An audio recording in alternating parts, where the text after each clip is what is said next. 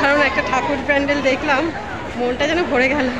খুব ক্লান্ত, কিন্তু তার মধ্যেও এই ঠাকুর দেখে একদম খুশিতে আমরা সবাই ভীষণ খুশি, প্রত্যেকটি লোকই খুশি, সত্যি দারুণ হয়েছে। তো বন্ধুরা, আপনারা নিশ্চয়ই জানতে চাইছেন কোন প্যান্ডেল দেখে আমরা এত আনন্দিত হয়েছি। নিশ্চয়ই আপনাদের দেখাবো, আর আপনাদের দেখানোর জন্যই তো এই ব্লগটি তো বন্ধুরা, আপনাদের সকলকে জানাই আমি শুভ শারদীয়ার প্রীতি ও শুভেচ্ছা। আজ হচ্ছে মহাষষ্ঠী এবং আমার পরিবারের কয়েকজনকে মিলে আমি বেরিয়ে পড়েছি ঠাকুর দেখতে, প্যান্ডেল হপিং করতে। তো আপনাদেরকেও দেখাবো যারা ঘরে বসে রয়েছেন অথবা যারা দক্ষিণ কলকাতার ঠাকুর দেখতে আসেননি, তাদেরকে দেখাবো এই প্যান্ডেলগুলো। আজকে বেশ ভিড় রয়েছে কিন্তু। তো আমার তো সেরকম রাস্তাঘাট চেনা নেই, তো আমি বেরোনোর সময় আমার হাজব্যান্ডকে জিজ্ঞাসা করে বেরিয়েছে, কীভাবে ঘুরলে আমরা ঠিক মতন বাড়ি পৌঁছতে পারব। আর এই কলকাতার পুজোর সময় কিন্তু আলোক ঝলমলে হয়ে যাওয়াতে রাস্তাঘাট চেনারও উপায়ও থাকে না। তো সেই জন্য আমি চিনতে ভুল করি, তো আমি জিজ্ঞাসা করে নিলাম, কীভাবে কি যাব? তো প্রথমে আমাকে বলে, বাদামতলা আশার সঙ্গের ঠাকুর দেখতে, তারপর চেতলা অগ্রণী এবং পাশাপাশি দু তিনটে ঠাকুর আছে, সেগুলো দেখে সুরুচির সঙ্গে দেখে, বুড়ো শিবতলা দেখে, তারপর বাড়ির দিকে ঢুকে যাব। তো যথারীতি এই ম্যাপ মেনে এখন আমরা চলে এসেছি আশার সঙ্গ বাদামতলায়। তো ভীষণ ভিড় আপনারা দেখতেই পাচ্ছেন। খুব সুন্দর করেছে প্যান্ডেলটি, ছোট ছোট কাঠের ঘর করেছে।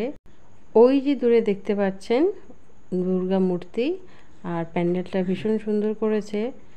পুরো প্যান্ডেল এই ছোটো ছোটো কাঠের ঘর দিয়ে তৈরি এবং ঠিক উল্টো দিকে না খুব সুন্দর করেছে, সেটাও আপনাদেরকে দেখাবো।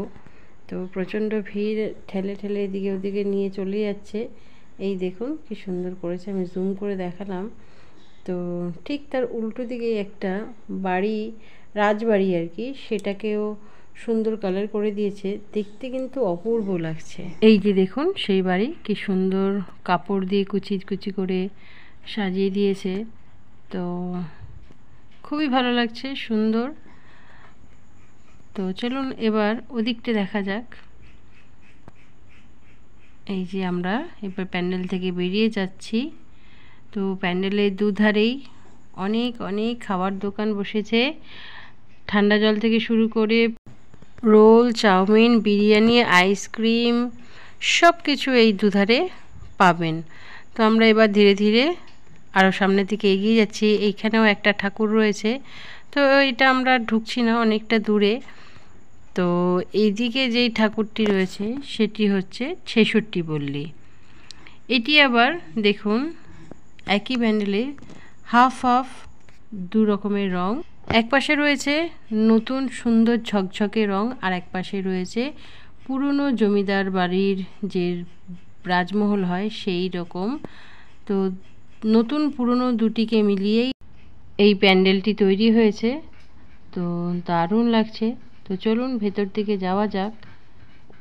তো প্রচণ্ড ভিড়, আপনারা দেখতেই পাচ্ছেন সবার হাতেই ক্যামেরা। সবাই কিছু স্মৃতি নিজের মোবাইলে ধরে রাখতে চান, এই জন্য ভিডিও করেন। তো এই আমি প্যান্ডেলের ভেতরে চলে এসেছি এবং খুবই সামনে। তো আপনারা দেখতেই পাচ্ছেন, এই যে রাইট সাইডে যেগুলো দেখছিলেন সবই কিন্তু প্যান্ডেল। আর এ পাশটাও কিন্তু এই প্যান্ডেলের সঙ্গেই যুক্ত। কিন্তু দেখলে মনে হবে যে সত্যিকারের বাড়ি রং করে দেওয়া হয়েছে। পুরনো রাজবাড়ির এক পাশে অন্ধকার এক পাশে আলো, সেটাই এখানে দেখানো হয়েছে। আর কত প্রাইস পেয়েছে দেখুন। এনারা প্রতি বছরই প্রায় প্রাইজ পেয়ে থাকেন। এই বাদামতলা আসার সঙ্গে প্রতি বছর এইভাবেই প্রাইজ পেয়ে আসেন। আর সেই জন্যই তো এত ভিড়, এত লোক, তাই না? এবার আমরা আরও সামনের দিকে এগিয়ে যাচ্ছি এবং এখানে রয়েছে কালীঘাট জন তো চলুন এবার দেখে নিই কারা কারা আমরা ঠাকুর দেখতে বেরিয়েছি আমার মা ভিডিও হচ্ছে এটা আমার বনু এই সুন্দরীরা পরে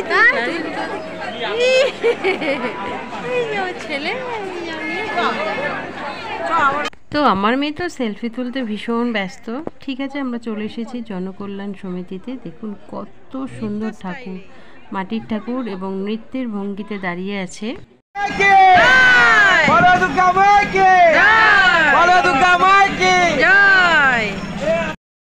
তো বন্ধুরা এবার আমরা চলে এসেছি নেপালচন্দ্র ভট্টাচার্য স্ট্রিটের একটি প্যান্ডেলে। তো ভীষণ সুন্দর শুকনো পাতা দিয়ে এই প্যান্ডেলটি তৈরি হয়েছে। শুকনো তাল পাতা খেজুর পাতা, পুরো দেখুন সব কিছুই এখানে শুকনো পাতা দিয়ে। তো দারুণ করেছে প্যান্ডেলটা। এবং প্রতিমাও দেখুন, একটু অন্যরকমভাবে এখানে মাঝখানে যজ্ঞ হচ্ছে। এক পাশে শিব বসে আছেন এক পাশে মা দুর্গা। তো ত্রিশুলটা কোথায় গেল? এই সাইডে ছোট ঠাকুরটা। খুবই সুন্দর লাগছে এই অন্যরকম ঠাকুর দেখতে। আর এখানে ছোট্ট প্রতিমা রয়েছে যেখানে কিনা ঠাকুরমশাই পুজো করবেন। এই দেখুন যজ্ঞ হচ্ছে। এদিকে লক্ষ্মী সরস্বতী কার্তিক গণেশ সবাই পাশে বসে আছে। খুবই সুন্দর হয়েছে। এখানে ঢাক ঢোল তবলা সানাই বীণা সব কিছু ঝুলছে। আর এই পাশে দেখুন কি সুন্দর। দেয়ালে চিত্র আঁকা। আমার তো খুবই ভালো লেগেছে। আপনাদের কোন প্যান্ডেলটা সব থেকে বেশি ভালো লাগছে প্লিজ কমেন্ট করে জানাবেন আমাকে। তাহলে খুব ভালো লাগবে আমার। পাতা দিয়ে।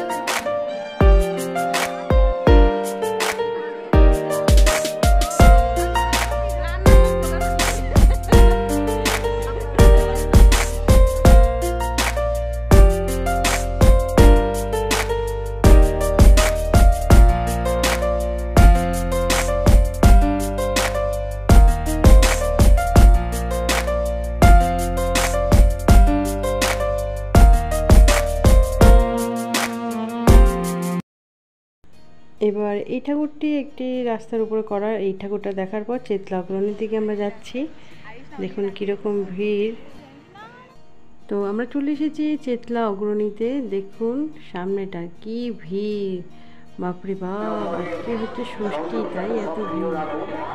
আর চেতলা অগ্রণী প্যান্ডেল কলা গাছের সমস্ত কিছু দিয়ে তৈরি হয়েছে যেগুলো কিনা আমরা ফেলে দিই, শুকনো হয়ে গেলে। সেই শুকনো জিনিস দিয়েই খুব সুন্দর করে প্যান্ডেল তৈরি করেছে। তো চলুন আপনাদের চেতলা অগ্রণীর পুজো প্যান্ডেলের ঠাকুর।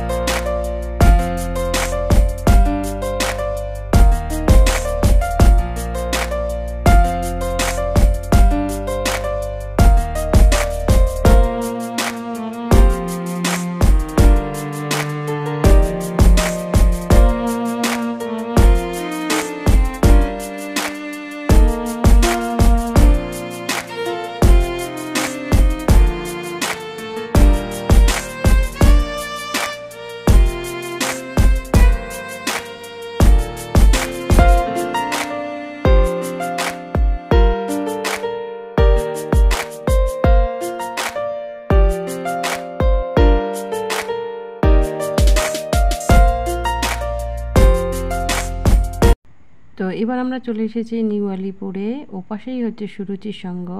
ভীষণ ভিড়, আমরা এই পাশে দাঁড়িয়ে আছি ক্রস করব বলে। তো দেখুন, এইভাবে আমরা ভিড় ঠেলতে ঠেলতে সুরুচির সঙ্গের প্যান্ডেলের ভেতর ঢুকতে পেরেছি। ভীষণ ভিড়, ভীষণ। তবুও ভালো ঠাকুর দেখতে গেলে একটু লাইন দিতেই হবে, তাই না? তো বন্ধুরা এই হচ্ছে সুরুচির সঙ্গের প্রবেশদ্বার। তো এবার আমরা ভেতরে আমি আপনাদের সকলকে আমার চ্যানেলে স্বাগত। এখন আমরা আছি সুরুচি সঙ্গে। সুরুচির সঙ্গে ঠাকুর দারুণ হয়েছে অসাধারণ। তো চলুন এবার দেখাই সুরুচির সঙ্গে ঠাকুরটা আমরা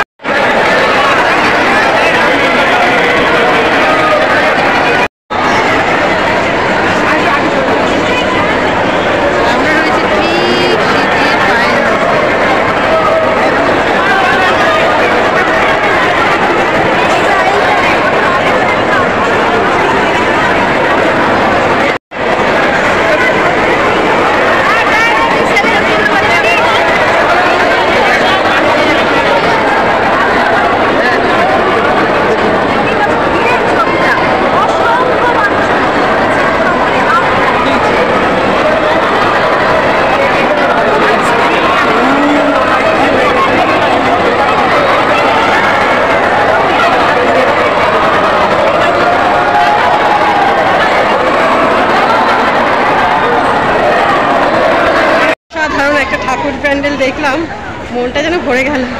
খুব ক্লান্ত, কিন্তু তার মধ্যে এই ঠাকুর দেখে একদম খুশিতে আমরা সবাই ভীষণ খুশি, প্রত্যেকটি লোকই খুশি, সত্যি দারুণ হয়েছে, তাই না?